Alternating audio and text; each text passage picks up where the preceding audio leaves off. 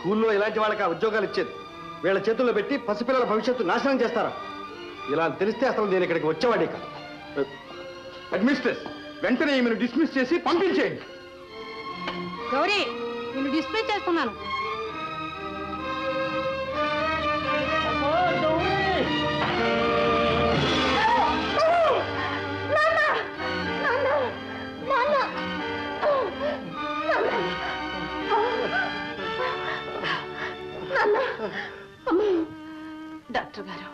ప్రాణభయం లేదమ్మా. తల మీద దెబ్బ గట్టిగా తగిలింది. పెద్దతనం వల్ల కాస్త బ్లడ్ ప్రెషర్ ఎక్కువగా ఉంది. విశ్రాంతి ఇస్తే తగ్గిపోతుంది. Compounder sir. జాగ్రత్తగా చూస్తుండు నేను షావుకార్ గారి ఇంటికి వెళ్ళొస్తాను. అలాగేనండి. అయ్యో జ్వరం మండిపోతుంది. నారాయణ నారాయణ చూడు. గంటి గారు గంటి గారు నారాయణకి జ్వరం మండిపోతుంది. డాక్టర్ని పిలవండి. ఆ ఆ కుంటోడికి డాక్టర్ కూడానా? పాపా డాక్టర్ మండిపోతే చచ్చిపోతాడండి. సావనై తేడా వదిలిపోతుంది. మీకు దండం పెడతాను. డాక్టర్ని పిలవండి. నువ్వు పోతావా లేదా? పోనీ నేనున్న వెళ్ళి డాక్టర్ని పిలుచుకొస్తాను. ఆ, నువ్వు వెళ్ళి డాక్టర్ తీసుకొస్తావా పెద్ద కుంటోడు అని. ఆర్ని. డాక్టర్ డాక్టర్ తీసుకెళ్తానే వాడితో పాటు నువ్వు కూడా చావు గంటి గారు.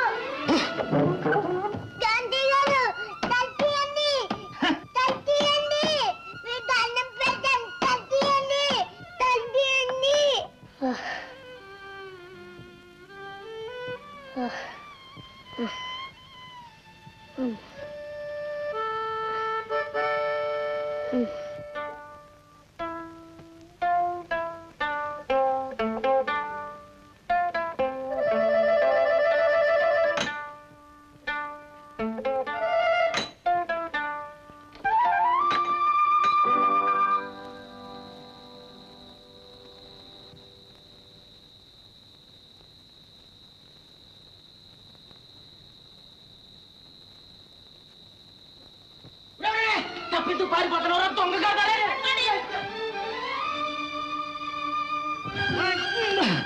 రే పోతున్నావు కాదు? పో పో. మళ్ళీ గడప తచ్చామంటే కాళ్ళు ఎరగొడతాను. పో. డాక్టర్ గారు డాక్టర్ గారు. ఏమిటి? డాక్టర్ గారు కావాలండి. డాక్టర్ గారు ఇక్కడ లేరు. షావుకార్ గారి ఇంటికి వెళ్ళారు షౌకర్ అవును. అమ్మా గౌరీ. నాన్న. నీకు తీరని అన్యాయం చేశానమ్మా. నిన్నాళ్ళు నీతో ఒక ముఖ్యమైన విషయం చెప్పకుండా దాచేశాను తల్లి. ఏమిటి నాన్న? ఏమిటది? నన్ను క్షమిస్తావమ్మా. నాన్న. అవునమ్మా. నీ బిడ్డ. నా బిడ్డ. చచ్చిపోలేదమ్మా చచ్చిపోలేదా? నా బిడ్డ బ్రతికే ఉన్నాడా? నిజంగానా నాన్న? నిజంగానా? అవునమ్మా నీ బిడ్డ బ్రతికే ఉన్నాడు. ఆనాడు నీతో అబద్ధం చెప్పాను తల్లి. మరి నా బాబు ఇప్పుడు ఎక్కడున్నాడు? అనాథాశ్రమంలో. అనాథాశ్రమంలోనా? ఎవరు నాన్న?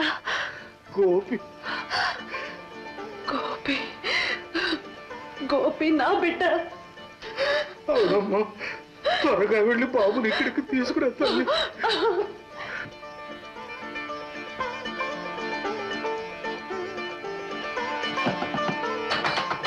ఎవరు? ఓ నువ్వా? ఏమండి గోపిని పిలవండి. గోపి వాడు ఇక్కడ లేడు. ఎక్కడికి వెళ్ళాడు ఏమో దొంగ వెధవ పారిపోయాడు. వాడు అలాంటి వాడు కాదే. ఆ ధర్మ సంతానం. అంతగా పోతే ఇంకెంత? ఏ విధులు వెంట అడుగుతుంటున్నాడో పోయి చూడు.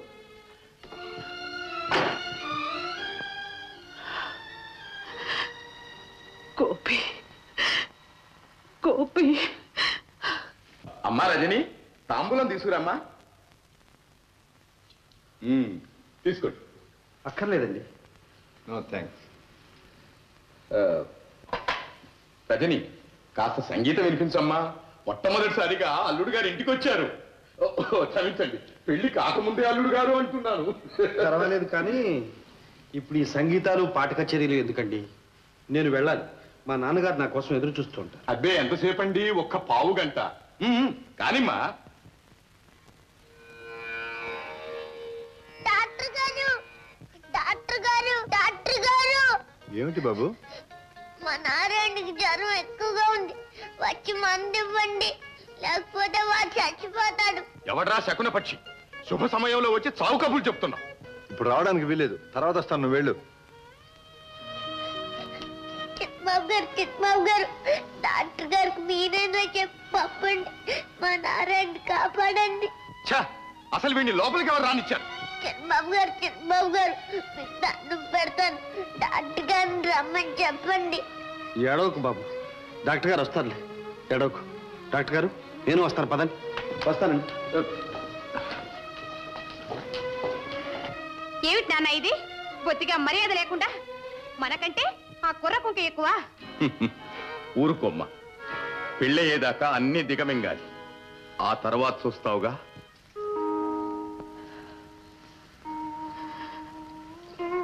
నాన్న. ఏమమ్మా బాబుని తీసుకురాలే. బాబు అక్కడ లేడు నాన్న. చెప్పకుండా పారిపోయాట. ఎక్కడికి వెళ్ళాడు ఏమో. అయ్యో పాపిష్టి వాళ్ళు తల్లి బిడ్డను వేరు చేశాను అందుకే ఈ జన్మలో చేసుకున్న పాపం ఈ జన్మలోనే అనుభవిస్తున్నా లేదు నాన్న. పాపం నాది. అందుకే నా బాబు నాకు దూరం అయిపోయాడు నాన్న. ఊరుకోమ్మా ఊరుకో. దేవుడు దయామయుడు. ఎప్పటికైనా ఆయనకు దయ కలక్కపోదు తల్లి.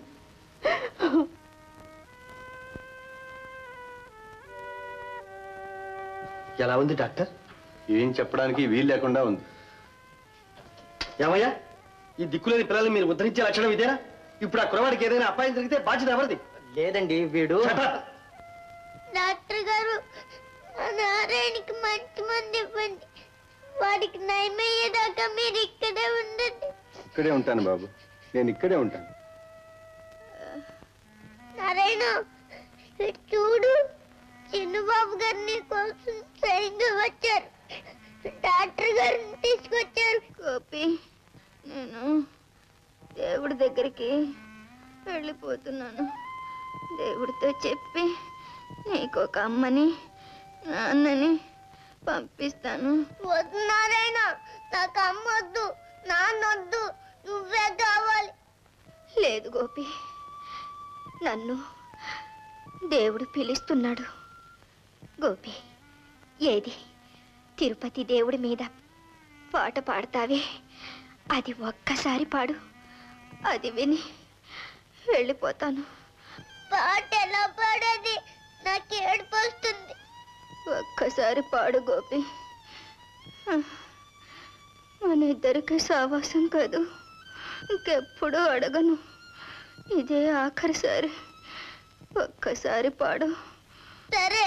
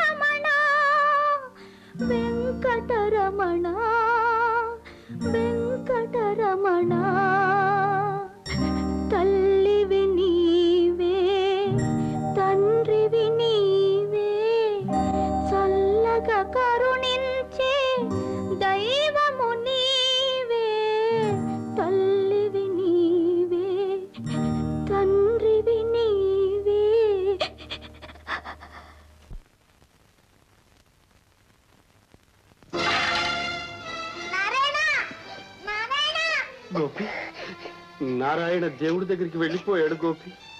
నారాయణ ఆగు. ఒక్కడివే పోతున్నావా? నన్ను కూడా తీసుకెళ్ళు. మన ఇద్దరికి సమస్తున్నావే నన్ను వదిలేసి పోతున్నావా? నారాయణ నారాయణ. గోపి గోపి ఏడవకు నాకు అమ్మ లేదు నాన్న లేడు ఉన్నది నాన్న ఒక్కడే వాడు వెళ్ళిపోయాడు. నాకెవ్వరు లేరు చిన్నబాబు గారు. గోపి మేమున్నాక ఎడవకు గోపి ఎడవకు. ఇన్నాళ్ళు లోకంలో మోసం స్వార్థం ద్రోహం తప్ప ఇంకేమీ లేవని ప్రేమ నీతి అభిమానం అన్నీ నశించాయని భ్రమించాను. ఈనాడు అనాథాశ్రమంలో ఈ రెండు పసిడి మనసుల్లో వెలిగిన నిర్మల ప్రేమ జ్యోతి నా కళ్ళు తెరిపించింది. గోపి నిస్పృహతో నిరాశతో కృంగి కృషించిపోతున్న నాకు కొత్త వెలుగును చూపించు. జీవితానికి కొత్త అర్థం కల్పించావు. గోపి నువ్వు అనాథవు కాదు. ఇక నువ్వే నాకు తోడు. జీవితాంతం నిన్ను విడువని గోపి విడువని. మీరు ఏడుస్తారు. గోపి గోపి ఏడవని గోపి గోపి గోపి.